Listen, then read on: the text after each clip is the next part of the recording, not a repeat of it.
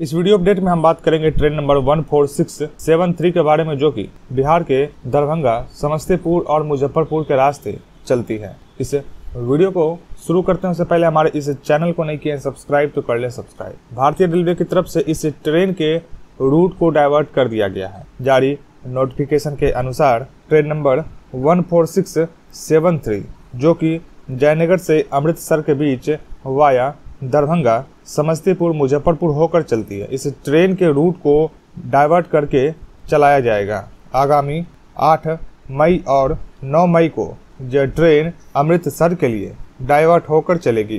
दरअसल रेलवे की तरफ़ से बताया गया कि अम्बाला मंडल के शंभू रेलवे स्टेशन पर चल रहे किसान आंदोलन ने ट्रेनों के रूट के साथ साथ कई ट्रेनों की रफ्तार पर भी ब्रेक लगा दिया है। ऐसे में लखनऊ होकर जाने वाली करीब चौंतीस ट्रेनों के रूट अगले कुछ दिनों तक बदले रहेंगे। वहीं इस आंदोलन की वजह से सोमवार को भी कई ट्रेन लेट पहुँची थी। रेलवे ने अपने यात्रियों को अलर्ट करते हुए इस रूट होकर चलने वाली ट्रेनों के नए रूट की जानकारी दी है, जिसकी पूरी जानकारी हम इस वीडियो के माध्यम से आपको देने जा रहे हैं। दरअसल train number one four six seven three के साथ चलने वाली जयनगर, अमृतसर शहीद एक्सप्रेस ट्रेन के यात्रियों के लिए बड़ी अपडेट। इस ट्रेन को अम्बाला कैंट और सानेवाल रेलवे स्टेशन के मध्य डाइवर्ट कर दिया गया है।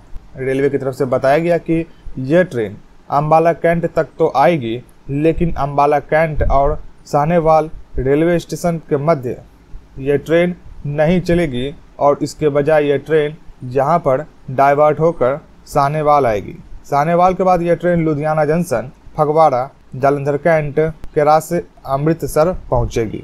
हालाँकि, इस ट्रेन का संचालन लगातार जारी रहेगा। केवल इस ट्रेन को डाइवर्ट कर दिया गया है, जिसकी पूरी जानकारी हमने आपको इस वीडियो में बताया। आने वाले अन्य लेटेस्ट अपडेट के लिए हमारे इस चैनल को अभी सब्सक्राइब करें और यह वीडियो कैसा लगा कमेंट बॉक्स में बताएँ।